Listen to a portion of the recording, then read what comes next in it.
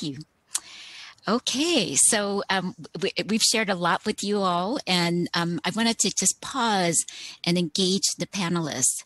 Um, I, I, just want to harken back to Paul's because it was such a nice overarching frame, and he left us with um, really thinking about being more attentive to community dynamics to drive strategic decisions, make sure we prioritize measuring community power, make sure that we really focus on relational qualities of both power building and community change, and then finally making sure that we examine longitudinal multi-level relationships. And so um, just curious in terms of what are you hearing that that's connecting to each other and provoking your thinking?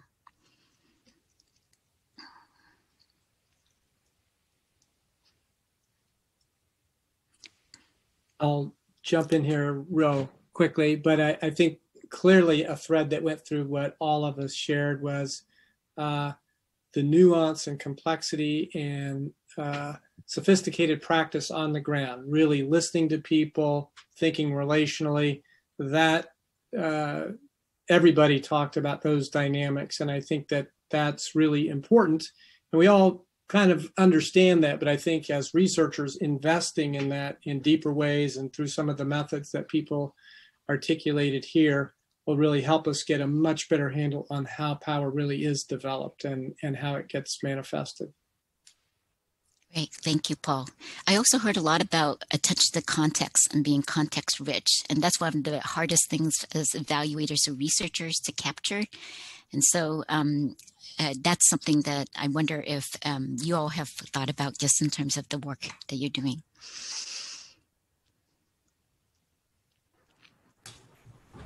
So um, can I share something? So a lot of the work that we did in our um, work in, in New Mexico with the CBPR model, I also have a, I used it in Nicaragua. I used to work there.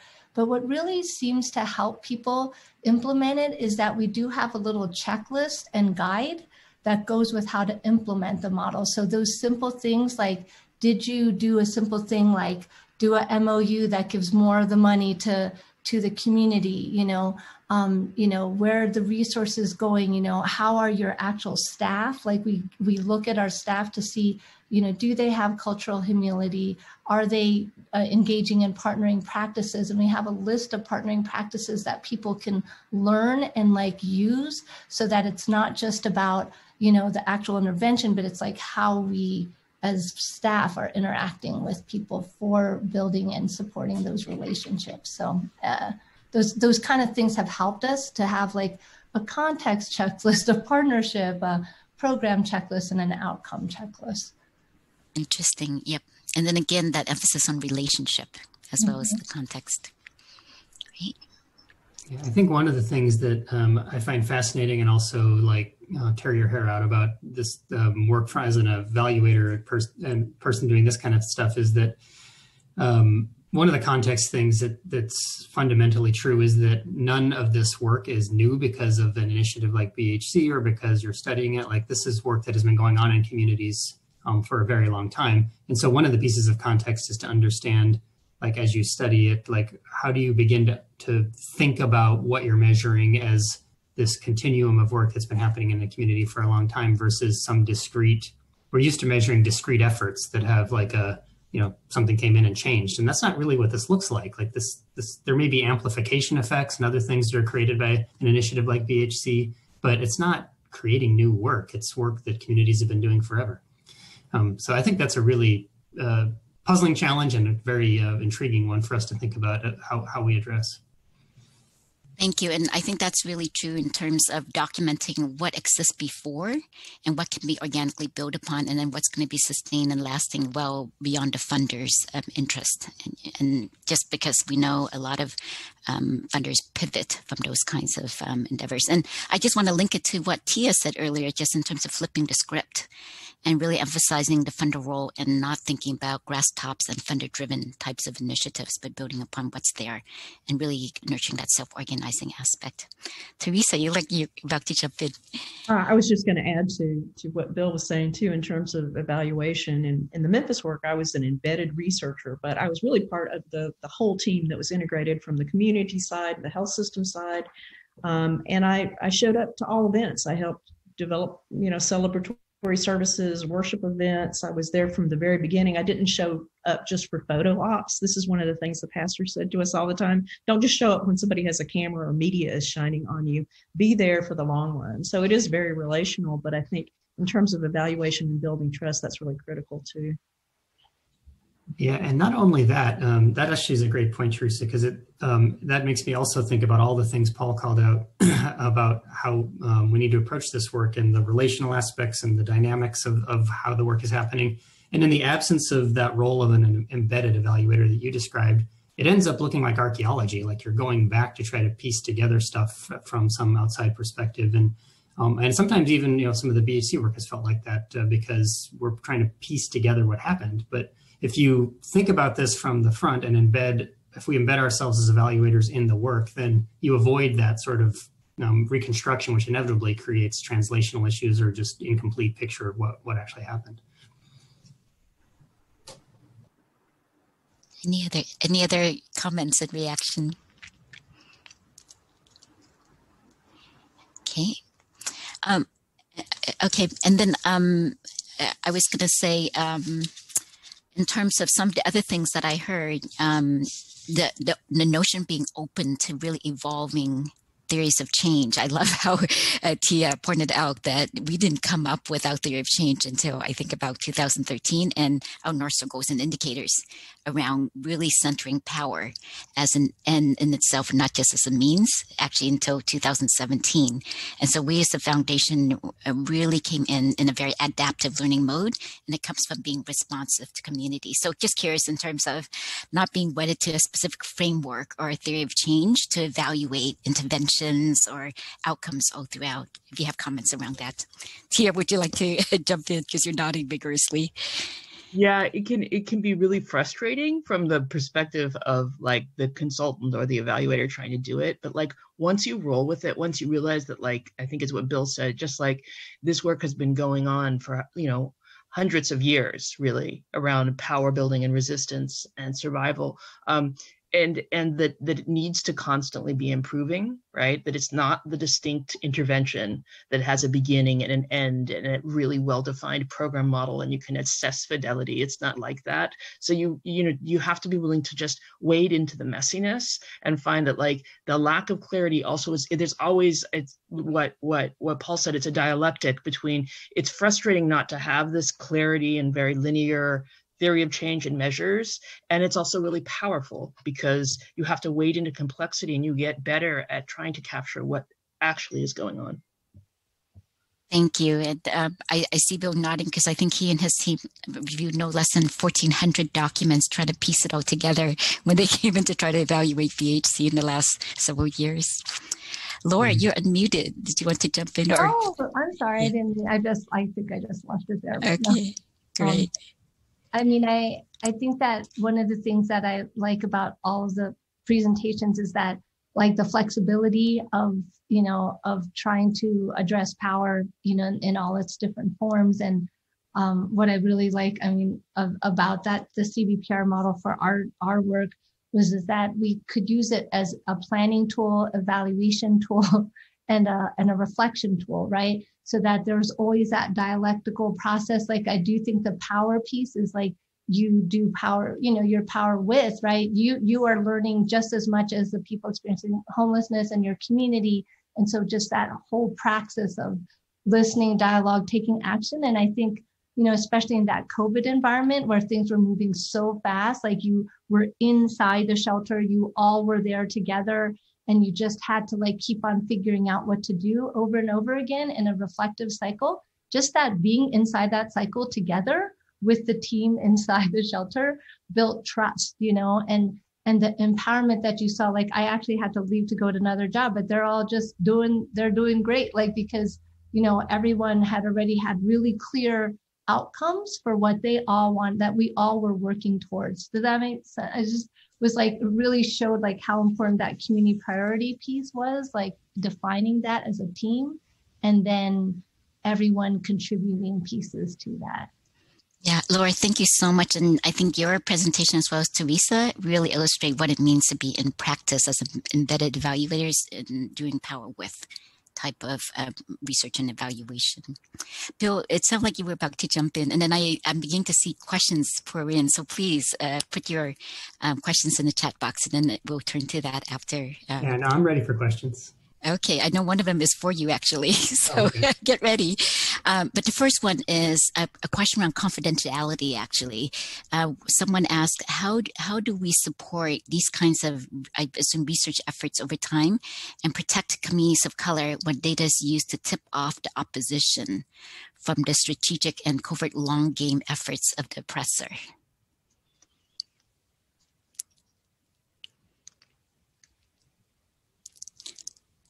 You know, I immediately thought about that in terms of the network survey that we've been developing and how careful we are to protect confidentiality. I wonder if you want to say a little bit about that, Bill.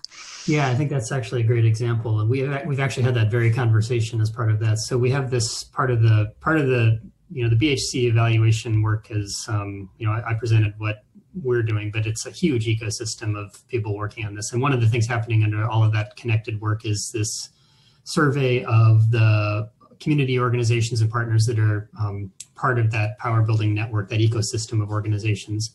And we're collecting a lot of information that hoping to use to help support and build and weave that network together. But it's also information that would be incredibly valuable to somebody with ill intentions for what that network is trying to achieve. Um, so we've actually had that very conversation a lot about what can we put out in the world. We want transparency and we all sort of want to create something that is a shared community asset, but there are also risks with that kind of like transparency as well. I think it's been a real struggle. We've had to really think about what we what we make available and what we don't, and um, and what can what the sort of unintended consequences of that can be. And I think that that's a really fantastic question that was raised that I think um, raises a lot about your responsibility when you try to create a learning system for what the con- like what the consequences of creating a learning engine are and sometimes that's a positive thing to help build with and sometimes there's always the potential that it can be used to destroy too. Great. Yeah. And I think we, we build these so that it's in service of strategy for um, power builders. And so thinking about how to mm-hmm. really use that to support them, but not tip off the opposition. So I think that's really critical. Um, there's a question for you, Laura. Um, so I'll turn to you next. The question is, any tips on getting community perspective without physically being in community? So um, the person who asked this said, we're doing a modified remote CBPR approach for a place-based intervention, but are feeling limited in what we can do without being physically present. I just wonder if they have Zoom or like internet connectivity. Um, we were like obviously in the shelter we couldn't be there because people didn't even have phones. I mean we had to be there physically. But um, i know that we have been working on other projects with health councils and we do it via zoom. And uh, there's a lot of like community building activities you can do on zoom and you know build start building trust. So that's a lot of the work we've been doing right now with health councils. Primarily my colleagues are doing a lot of work with using cbpr with uh, you know Zoom platform. But obviously, it would be nicer to be on real life. But um, we've done things like I don't know if you've used Jamboard, but um, we use the Jamboard, which is like a digital whiteboard. So we were able to do things like do the um, CBPR model, like planning and visioning guide on um, on digital, and it worked really, really well. So. Yeah, and I know as a researcher who really wanted to be in community as much as I could, it, there are constraints of geography, resource, time, but so critical in building trust and relationship. And so, in some ways, um, COVID forcing us uh, onto video conferencing is making people interface in a very different way. But there is the digital divide, just in terms of how to make sure that there is that kind of access for communities. Thank you, Laura. That was really helpful. Okay, and then I'm going to go back to Bill. There's a question about can you share more about the emerging platform for open source collective action learning? What are some design features, important elements of infrastructure, and how close is it to becoming real? mm-hmm. Yeah. Um, so what we've really focused on doing is um, rather than create um, sort of uh, an evaluation, we're trying to create this what, what I described as a learning engine. And so, you know, all of the work it has taken, you know, honestly, a couple of years of work just to kind of start building this connected sort of analytic engine and data ecosystem. Um, and what we're hoping to be able to do is create sort of a catalog of what's available and how it's connected, and then um, obviously working in partnership with TCE, invite other um, partners into that ecosystem to uh, take advantage of that. And so the kind of capabilities that we're hoping it'll happen is that we have, you know, we've built out all of this data, we've developed this sort of universal coding and connecting system. And so you might be able to sort of approach with a, a specific question of interest and easily be able to sort through that to identify the data elements along each of those different dimensions that would be the most applicable to whatever the work is you're trying to do to contribute to the knowledge that this ecosystem is designed to create. Um, and then extract those, um, probably with some sort of, you know, process uh, where we they're vetted to see what, we, what we're allowed to share and all of that sort of stuff, um, especially in the light of the question that was asked earlier about uh, the ways you can use information either to help or hinder efforts. Um, but given given all of that, the idea would be that this would become sort of a, a repository that um, lots of smart thinkers and researchers who want to kind of advance this work can can take advantage of because it's taken a ton of effort to build it. And one of the things that I think is underappreciated about BHC because it's, so many communities and and local control was played such a strong role in that evolution that Tia described you know, when you really think about it, so much stuff got tried. Like this is like a huge laboratory of innovation that just happened. Um, and we can, there's so much to learn about from all of those things that we could never, ta- no one researcher could ever tap into all of that. So we really need to get a lot of minds on this and make, make it available to as many people as we can to, to figure out what we can learn from all of that. Great. Thank you so much, Bill. Um, I'll have the last question to TC, Teresa.